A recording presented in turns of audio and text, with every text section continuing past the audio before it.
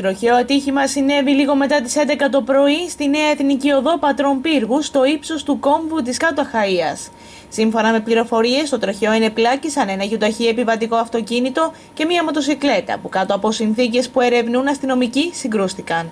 Να αναφέρουμε ότι και τα δύο οχήματα κινούνταν στο ρεύμα από πύργο προς Πάτρα. Από την σύγκρουση τραυματίστηκε ο οδηγός της μοτοσυκλέτας, ο οποίος μεταφέρθηκε στο Πανεπιστημιακό Νοσοκομείο Πατρών. Σύμφωνα με τις ίδιες πληροφορίες, ο τραυματίας είναι ένας άνδρας 29 ετών.